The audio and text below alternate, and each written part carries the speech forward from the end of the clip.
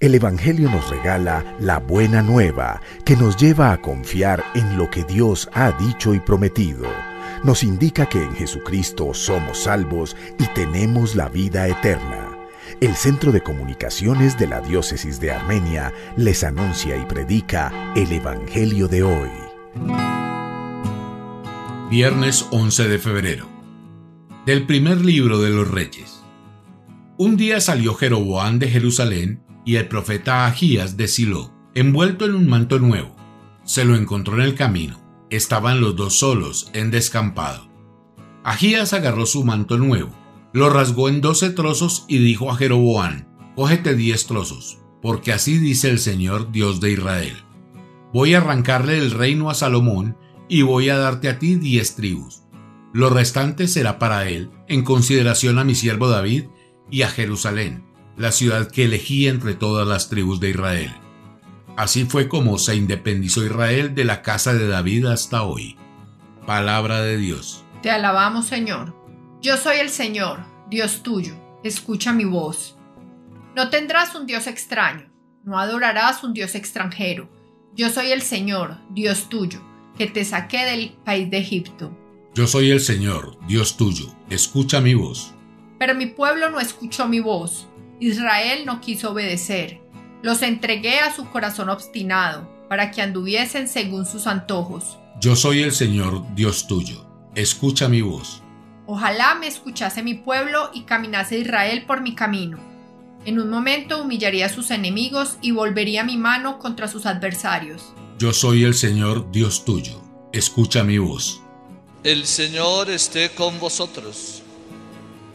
Anuncio del Santo Evangelio según San Marcos. En aquel tiempo, dejando Jesús el territorio de Tiro, pasó por Sidón, camino del mar de Galilea, atravesando la Decápolis. Y le presentaron un sordo que además apenas medio podía hablar, y le piden que le imponga las manos. Jesús, apartándolo de la gente a solas, le metió los dedos en los oídos y con la saliva le tocó la lengua. Y mirando al cielo, suspiró y dijo, Efetá, es decir, ábrete. Y al momento se le abrieron los oídos, se le soltó la traba de la lengua y hablaba perfectamente.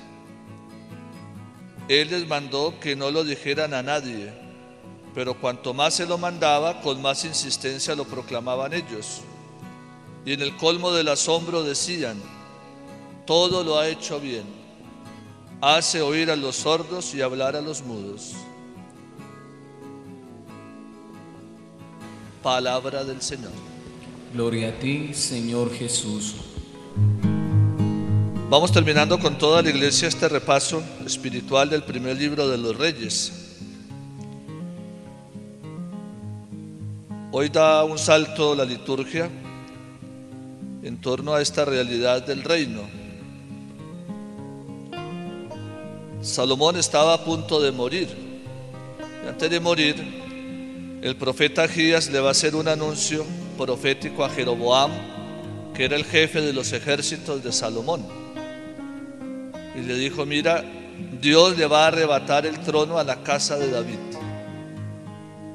y lo hace con ese signo de romper su capa en doce trozos. Y le dice a Jeroboam, estos diez trozos representan las diez tribus que se irán contigo.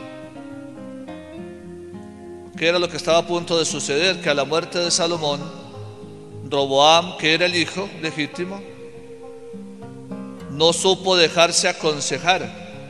Los ancianos del pueblo le dijeron, si quieres hacer algo parecido a lo que hizo tu padre Salomón, debes aliviar un poco las cargas, estar cerca de tu pueblo, ser fiel a Yahvé tu Dios.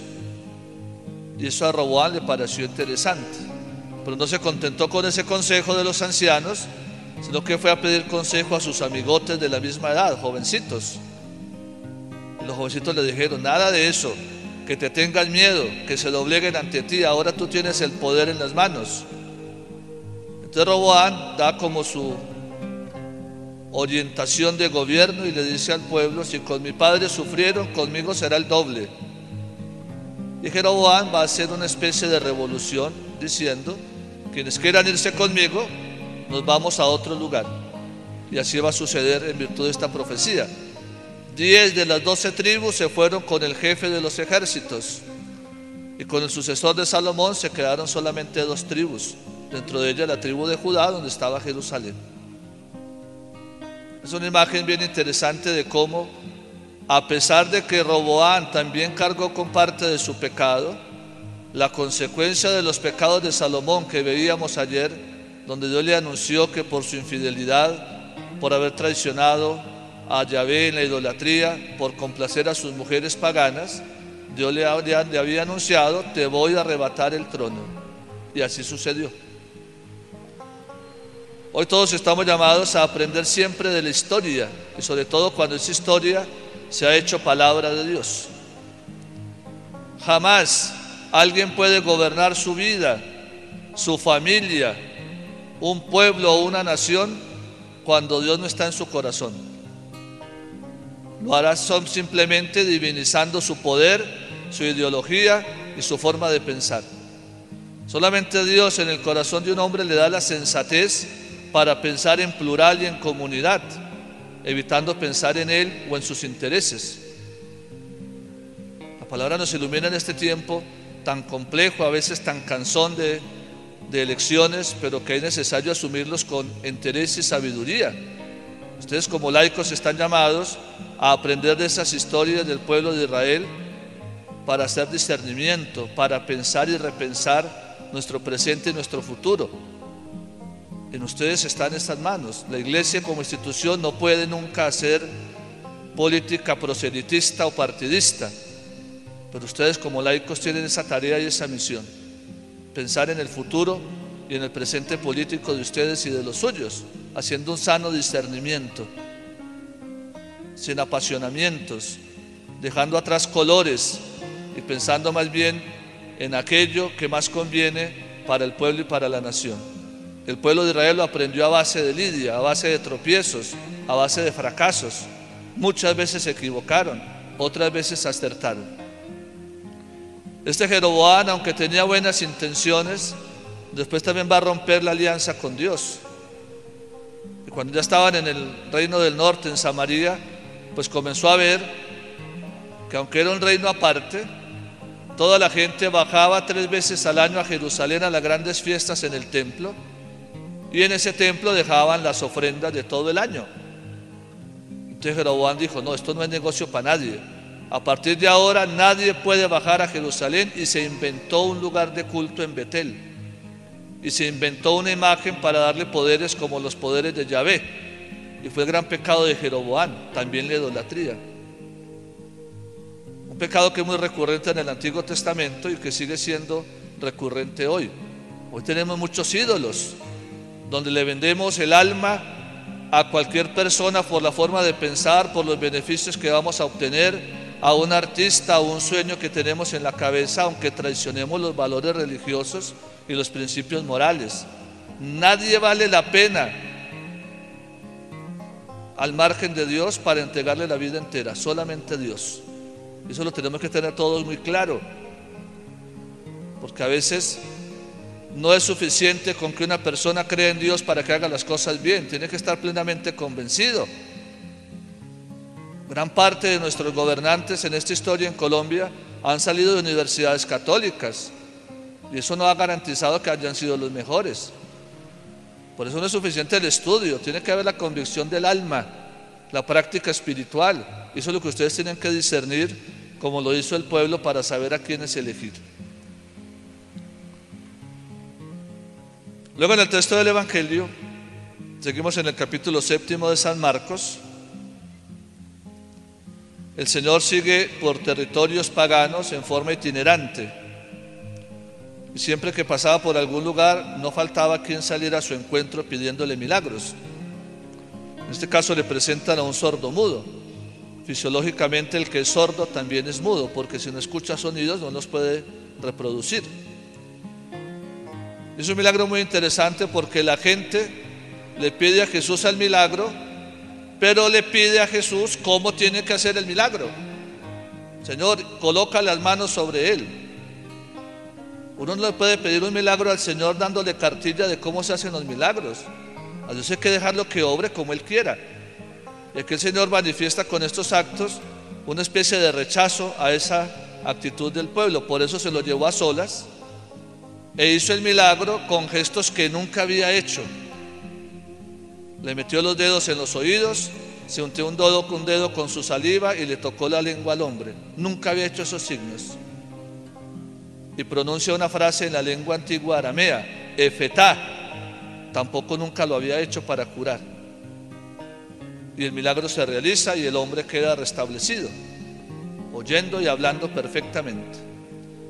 Hay una primera enseñanza para nosotros. Cuando ustedes le pidan cosas a Dios, no le den cartilla de cómo tienen que hacerlo. Dejen que Dios sea Dios. Dejen que Dios obre a su estilo y en su forma. Simplemente expongan su necesidad. Siempre sometiéndose a su voluntad. Un milagro que la iglesia ha retomado hasta hace algunos años para hablar también en, clave espiritual. Incluso era parte del rito del bautismo hasta antes del Vaticano II también se le metía los dedos a los niños en los oídos y se pronunciaba la expresión efetá, ábrete, hablando de cómo después del bautismo los oídos se abren para escuchar la voz de Dios y su palabra. Y una vez escuchada para que la podamos reproducir con nuestras palabras. Por eso el bautizado tiene como tarea ser profeta, porque escuchamos la voz de Dios y la transmitimos. Hoy por hoy también hay que pedirle al Señor que sane nuestra sordera, porque el mundo nos tiene aturdidos. Las lecturas extrañas, las ideologías nos aturden. ¿Qué pedirle sino que destape los oídos para escucharlo a Él en forma clara y serena? Y cuando lo hayamos escuchado tendremos la facultad de reproducir esas palabras con nuestra vida, con nuestras expresiones. Es el, es el Señor el único que puede hacernos hablar correctamente para que al hablar podamos edificar, construir y multiplicar, pero que nunca al hablar vayamos a dividir o a restarle a la gente. A veces con nuestras expresiones hacemos demasiado daño y no hace parte del temperamento, hace parte de nuestra imprudencia y grosería. Por eso Dios hay que pedirle que llenos de su palabra, nuestras palabras sean claras, sean llenas de caridad, pero también sean llenas de claridad. Claridad y caridad no se oponen se complementan. Finalmente celebramos hoy con toda la iglesia esta fiesta de Nuestra Señora de Lourdes, esta advocación francesa que se dio en 1858, solamente cuatro años después de que la iglesia definió el dogma de la Inmaculada Concepción de la Virgen.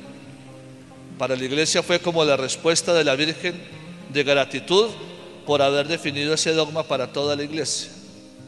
A esta niña Santa Bernardita que se le aparece la Virgen muchas veces en el mismo lugar, indicándole incluso, además de que rezara el rosario, que excavara allí donde estaba. Y ella excavó y descubrió una fuente de agua que todavía se conserva en aquel lugar. Una fuente de agua de la cual muchos, miles y miles de personas han obtenido curación, no por el agua, no por la Virgen, sino por la intercesión de la Virgen al Señor para obtener curación.